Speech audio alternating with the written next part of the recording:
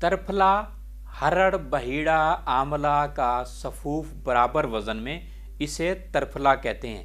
ترفلا دو سو gram استو خدوس پچاس گرام، ملٹھی بیس گرام، کلنجن بیس گرام، سنڈ دس گرام۔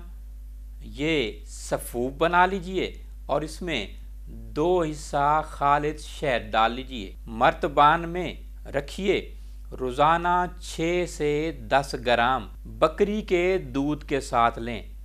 یہ نسخہ جو ہے، یہ ٹوٹکا جو ہے، اللہ تعالیٰ کی قدرتی نعمتوں میں بہترین ٹوٹکا، بہترین نسخہ ہے اور مجرب ہے۔ اور اب سے نہیں ہے، ہزاروں سال سے اتباع استعمال کرا رہے ہیں۔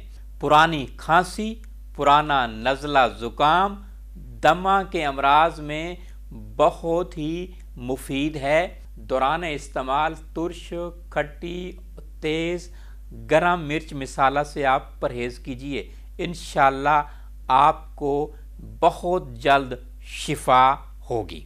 پرانا بخار بھی اس معجون سے ٹھیک ہوگا اور آپ نے کم از کم چالیس روز اس اس کو استعمال کرنا ہے۔